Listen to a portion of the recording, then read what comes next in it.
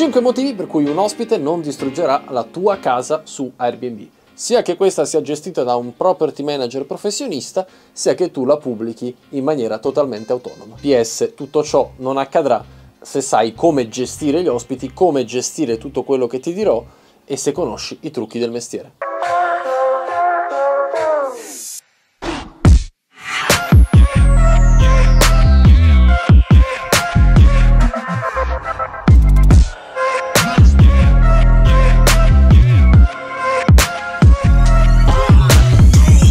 Motivo numero uno, innanzitutto siamo tutelati da una assicurazione sino ad un milione di dollari che ci offre direttamente Airbnb.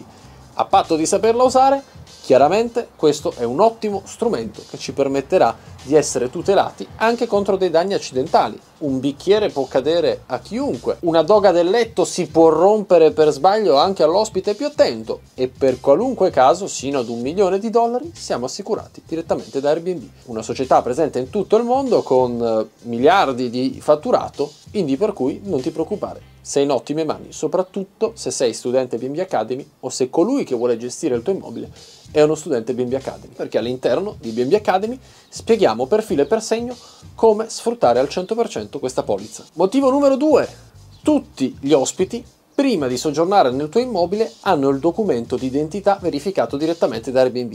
Esatto, per prenotare un immobile è praticamente obbligatorio mandare il tuo documento di identità ad Airbnb, Airbnb te lo approva e a quel punto potrai prenotare un qualunque immobile e se una persona ha caricato il proprio documento ci penserà 10 volte prima di fare un danno. Perché? Perché c'è il suo nome di mezzo, perché c'è un suo documento ufficiale quindi potrebbe anche essere perseguito penalmente. Motivo numero 3, molto simile a quello di cui abbiamo parlato poco fa, è quello che anche noi avremo possesso del documento dei nostri ospiti. Perché? Perché per legge noi siamo obbligati a caricare i documenti di queste persone sui portali di polizia ai fini dell'antiterrorismo e quindi anche noi avremo il documento di questa persona e se effettuerà un danno glielo possiamo gentilmente ricordare. Guarda che ho il tuo documento, ho tutti i tuoi dati, qualora non mi ripaghi del danno potrò denunciarti. Ovviamente sarebbe un processo lungo, dispendioso e c'è anche l'assicurazione di Airbnb in ballo, però può essere un ottimo deterrente per farsi pagare in maniera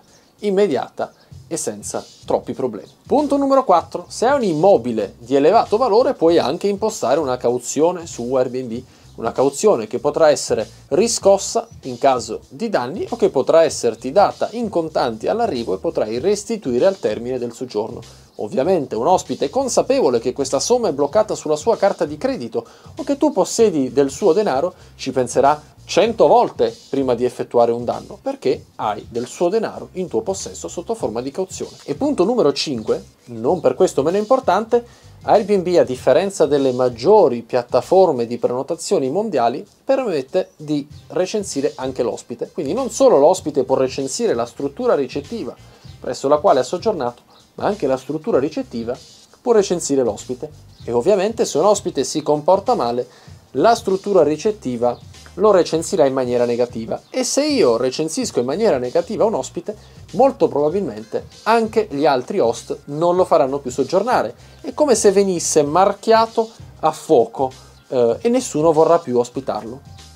Ecco perché tutti gli ospiti, io compreso, quando soggiornano in un'altra casa cercano di far filare tutto liscio come l'olio e di non arrecare danni. Se qualcuno mi lasciasse una recensione negativa, un domani potrei avere difficoltà a trovare un altro alloggio nel quale soggiornare. Spero che questo video ti sia piaciuto, se vuoi scoprire tanti trucchi del mestiere e come puoi entrare anche tu in questo business ad investimento zero senza possedere immobili e senza partita IVA in maniera 100% legale, clicca al link che trovi qua in basso, ho preparato un webinar per te. Ci vediamo dentro BND Academy. Ah, e non ti dimenticare di iscriverti al canale. Ciao!